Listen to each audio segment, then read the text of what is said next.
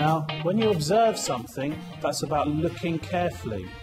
And the reason we've got these objects is for you to record what you're seeing. Sometimes if you draw from imagination, you don't need to record what you're seeing. You're working in a completely different way. If you're a primary teacher who doesn't feel confident about teaching art, what can you do? Kender Primary School has asked secondary art teacher Ben Naylor, who's been judged outstanding by Ofsted, to help them develop successful primary art lessons. I think if you're a really art phobic person, realise it's about the pupils' creativity. The pupils have a thirst for this. It's natural, I think, for pupils to make art and respond to real things.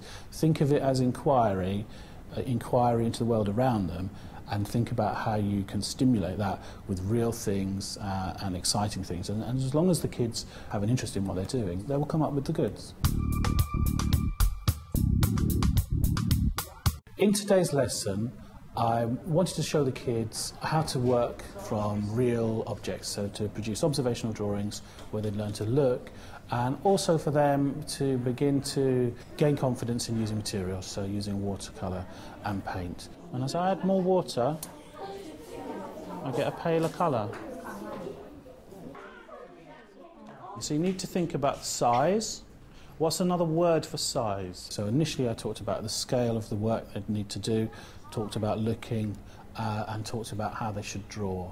So for example, keeping the drawings light and simple. How thin is the end of the fish, and how fat is the middle of the fish? You know, if, you, if your fish is a sort of rectangular shape, roughly, you know you've done it wrong. So you need to change it, and that's where you can start to use your rubber. And it's only by drawing that you give yourself the evidence you need to adjust your work. If you're making mistakes, you're learning. And I don't want you, because you're not confident, to not draw and not paint, because that means you're not learning. I think confidence must play a part. But um, I think what's really important and key here is the pupils that are doing the work. It is not the teacher. The teacher's facilitating the work. Um, and I think it would help teachers, for example, to pick out good examples of pupils' works and use that to model and show other kids. Over here, and someone is doing the, one of the lemons. And the edge of the lemon's really dark yellow, and the centre needs to be pale. Uh, okay, perhaps teachers aren't art specialists, but have a go, have a go as a teacher. If you've tackled it yourself, you'll understand what problems will arise for the kids. But you don't have to be Leonardo da Vinci to know how to mix paint or to know how to draw something. With some groups, I think it's good to model good practice. Uh, it helps a pupil very much if you draw the shape of something. You might see clearly, for example, I've saw that a prawn might look like an F or a U shape. And that just drawing that can explain it and make it clear to a pupil. This is kind of a U shape, isn't it? Yeah. As long as you stick to thinking of art as a method of inquiry, you should be looking and inquiring and learning. Can you show me where the pink bit is? Okay.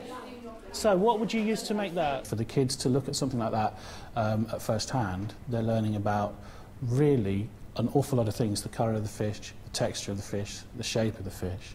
And as well as that, they've got all the materials to learn to use as well. So there's an awful lot there.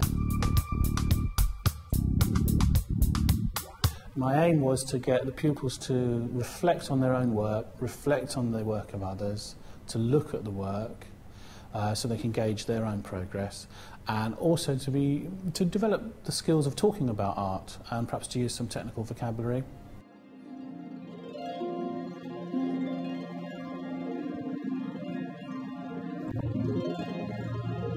in some ways, this is the most important bit, where you actually learn to reflect and think about your own work. You look at other people's work and then see yours in relationship to it. Pick out one piece of work that you think is really good and someone else's piece of work. Not to be critical, I want you to choose something that could be improved. It looks like it's kind of moving with the tail, and it looks like just like a fish tail. If you compare it to a, a real fish. I think they sketched it carefully and they remembered to put in lots of detail. And I think this part here is a bit, the black has really gone a smudge, but I kind of like it because the shape. Well, the natural extension of this would be to look at how you can work along this theme but using different materials. So you could extend this into clay. I've done junk modelling with fish and made bizarre, almost science fiction fish made out of junk. You could make prints from the drawings that the kids have done. You could extend that into prints. But as long as you stick to good primary sources, good objects, and then look at finding some artists who have to produce work along those lines, you can't really go wrong. So I think you've done loads and loads of learning today. You've done really, really well. There's some fantastic pictures, and you should be really proud.